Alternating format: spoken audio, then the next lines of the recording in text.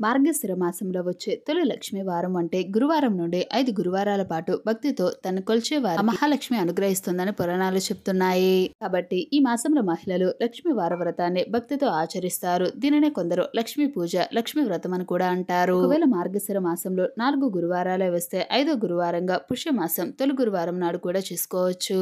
అయితే ఈ వ్రతం చేసేవారు గురువారం వేకువనే లేచి ఇల్లు శుభ్రం చేసుకుని స్నానం చేసి వాకిట ముగ్గులు వేయాలి. అలాగే పూజా మందిరంలో బియ్యం పిండితో ముగ్గు వేసి లక్ష్మీదేవిని ప్రతిష్ఠించుకొని పూలతో అలంకరించుకోవాలి. ఇక వ్రతం నిర్విఘ్నంగా జరగాలనుకుంటే గణపతిని స్మరించుకోవాలి. అంతేకాకుండా మహాలక్ష్మికి ఆసనం పాద్యం ఆర్గ్యం అంచమానీయం గురువారం అమ్మవారికి పొలగాన్ని నైవేద్యంగా సమర్పించాలి.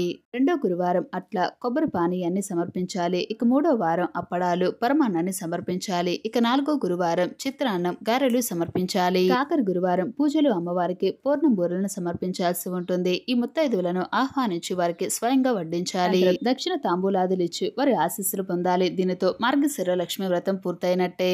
అయితే ఈ వ్రతం చేసే ప్రతి ఒక్కరికి కూడా అన్ని శుభాలే జరుగుతాయి. అలాగే కోరుకున్న కోరికలు అన్ని కూడా ఆ లక్ష్మీదేవి నెరవేరుస్తుంది. ఇక ఫ్రెండ్స్ ఇలాంటి మరెన్నో ఇంట్రెస్టింగ్ టాపిక్స్ కోసం ఇప్పుడు మా ఛానల్ సబ్స్క్రైబ్ చేసుకొని పక్కన ఉన్న గంట సింబల్ కూడా క్లిక్ చేసేయండి. Thanks for watching this video.